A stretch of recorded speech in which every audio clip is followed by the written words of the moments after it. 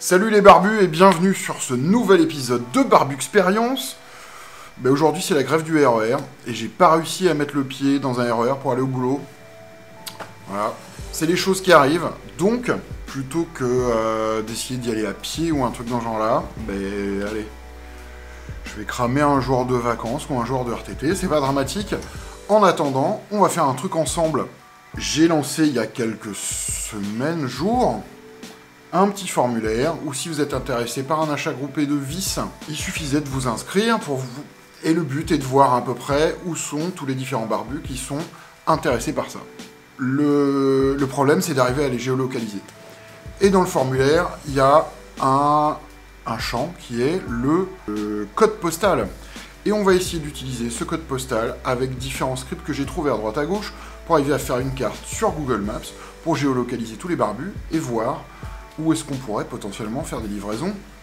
Allez, c'est parti. Alors, le principe, j'utilise sur mon ordinateur, bien sûr, un petit euh, serveur web. Je suis sous Windows, donc euh, j'ai EasyPHP qui est installé. Et j'ai trouvé un premier script par Shield Creeper qui permet d'afficher plusieurs endroits géolocalisés sur Google Maps. Ça, c'est la première chose. Donc, je vais le télécharger. Donc, je vais prendre le script que j'ai trouvé et je vais aller le mettre sur mon serveur local. Et là, on voit qu'il m'affiche bien mes trois endroits qui est à côté de, je sais pas où, de Jakarta, un truc dans ce genre-là. Et on va aller regarder un peu ce qu'il y a dans le code. Alors, blablabla, blablabla. Je vire un peu tous les trucs qui m'intéressent pas. Le header.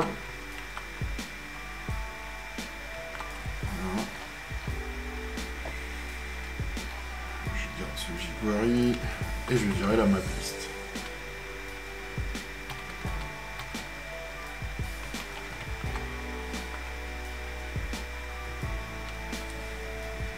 Je vais garder son copyright. Hein. Donc là maintenant, j'ai juste la carte avec euh, les trois locations qu'il a marquées. On va regarder un peu justement ces locations qui sont en PHP. Où en gros, il va mettre... en fait c'est un tableau. Un tableau de tableau où il met la latitude, la longitude, et ensuite il met euh, l'adresse et le nom. Euh. Je vois ici qu'en fait j'ai des latitudes et les longitudes. Et moi, les éléments que j'ai. Alors, j'ai fait toute la liste des, euh, des codes postaux. Et j'ai pas euh, l'équivalent longitude euh, latitude. Mais j'ai trouvé un petit script qui normalement est censé me le faire. Donc je vais prendre le zip code qu'on a ici et je vais le tester.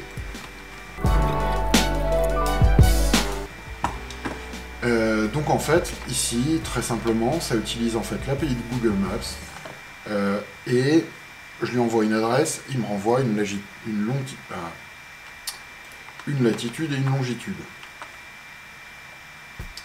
Et je vais essayer ces coordonnées-là dans mon script précédent. Donc, la latitude, c'est ça. C'est ici. Et la longitude, c'est ça. Et là, je vois bien que c'est en France. Je sais pas trop où, mais côté du Luxembourg. Donc on a ces deux scripts qui marchent séparément. Et le but, il va être d'automatiser un petit peu tout ça.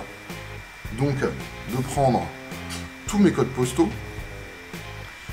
de les interpréter par le premier script qui va les transformer en longitude latitude, et ensuite de prendre tous ces éléments-là et de pouvoir les afficher sur la map.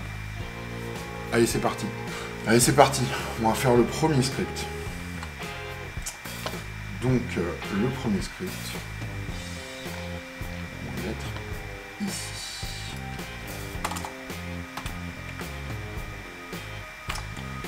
Donc, je vais déclarer zip code tableau. Je vais pas me faire chier. Je vais prendre tout ça. Alors. Tac. Je vais faire.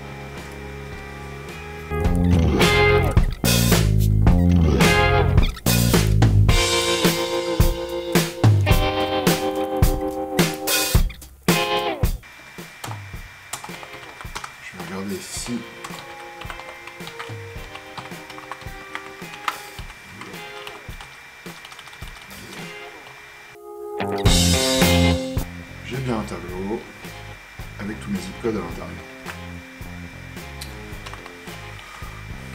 Ça c'est bon. Maintenant, ce que je vais faire, vu que mon tableau est en place, je vais prendre tous les éléments de mon tableau et je vais aller demander à mon API de transformer ça en, en longitude et en latitude. En latitude et en longitude. Donc je vais reprendre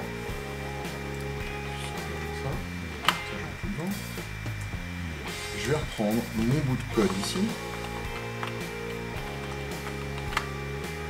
En gros, je vais construire mon adresse. Donc je vais faire for each, c'est-à-dire pour chacun des éléments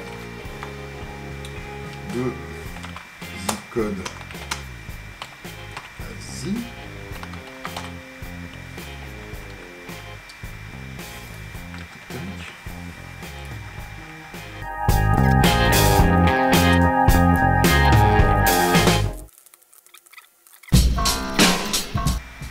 De mettre un peu de temps, puisqu'il fait des allers-retours. Alors, il va faire des allers-retours avec l'API de Google pour aller choper toutes les longitudes et les latitudes. Voilà, notre script a mis un tout petit peu de temps à répondre, mais... ah. Apparemment, j'ai une erreur.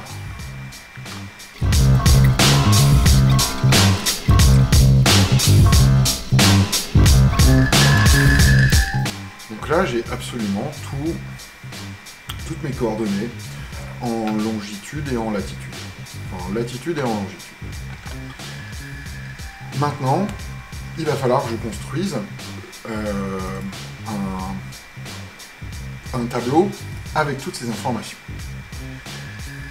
Donc, je vais créer un tableau qui va s'appeler, euh, je sais pas, loc.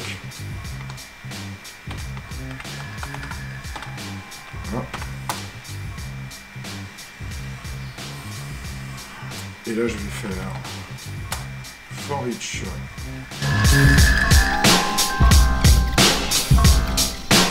J'appelais l'API de Google, je vais aller remplir tableau loc, pas location.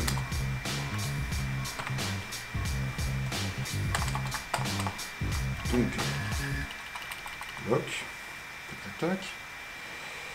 Et ben, cette latitude-là, c'est ma variable lat. Ici, c'est LNG. Et l'adresse et le name, ben je les laisse comme ça, on s'en fout. Voilà.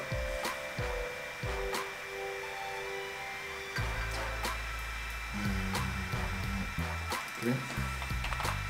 Et ici, tout ce qui est les locations, je vais les transformer en loc.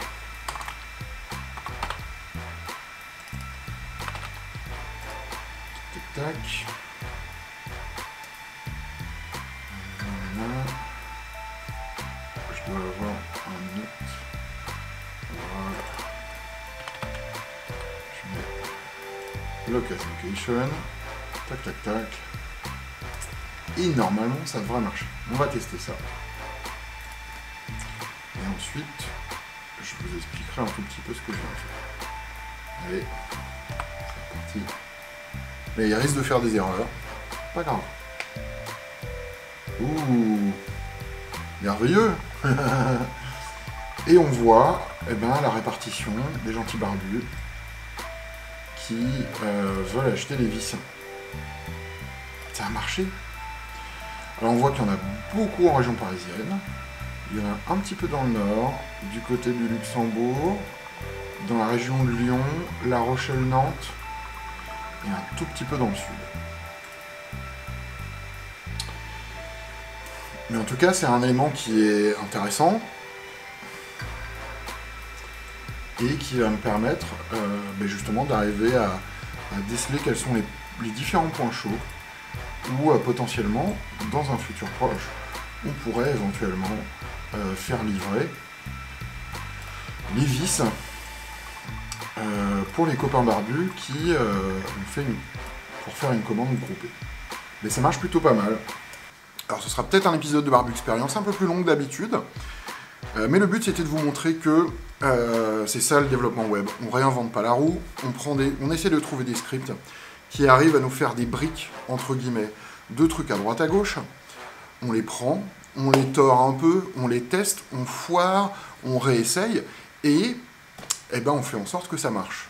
Et là, en quoi En 20 minutes, même pas, un truc dans ce genre-là, j'ai réussi à faire un petit script qui me permet d'afficher sur une page web euh, une carte de Google Maps avec tous les emplacements des gentils barbus qui, euh, peut-être dans un futur proche, risquent de participer à l'achat groupé de vis. Vous l'avez vu, c'est relativement simple et ça se fait en plusieurs étapes. Et ça, c'est ce, fonctionnement séquentiel, il est super important. D'abord, un, je fais en sorte d'isoler mes euh, zip codes. Deux, j'essaye de trouver un script qui permet de transformer mes zip codes en longitude et en latitude.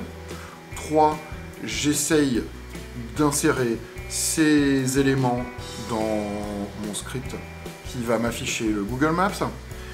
Euh, je mets tout ça dans un tableau, je modifie le tableau, pif paf pouf, et mon truc il s'affiche.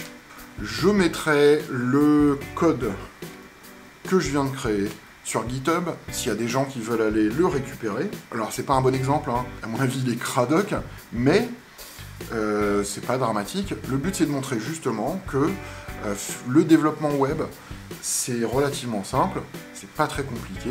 Vous avez plein plein plein plein plein de hum, ressources à droite à gauche, vous avez plein plein de gens justement qui partagent les scripts qu'ils ont fait, c'est ça qui est génial et qui permet, ben, euh, j'ai commencé à 9h37, ben en 20 minutes, en 20 minutes de se créer un petit script qui permet de faire un peu ce que vous voulez. Je pense pas que ce soit pour tous les barbus, mais si euh, la programmation web vous intrigue ou si vous avez envie de vous mettre, je ne peux que vous inciter à le faire. C'est super génial, c'est rigolo. Moi, ça fait plus de 15 ans que je fais et j'adore toujours ça. J'espère que cet épisode vous aura plu. Euh, comme d'habitude, vous connaissez la procédure. Euh, des questions, des insultes. Il y a tous les moyens de me contacter dans la description. Tu peux laisser tes commentaires et bien sûr, tu t'abonnes. Si cette vidéo t'a plu, tu peux aller cliquer sur le lien Utip et aller regarder une petite vidéo pour nous rapporter un peu de pognon. Un bon moyen de nous financer. Voilà, c'est tout pour cet épisode. Un épisode sans prétention, juste comme ça, pour vous montrer que le développement web c'est rigolo, le développement web c'est cool, et c'est accessible à tout le monde, vraiment. J'espère que cette vidéo vous aura plu. En attendant le prochain, faites des trucs, inspirez-vous et que la barbecue soit avec vous.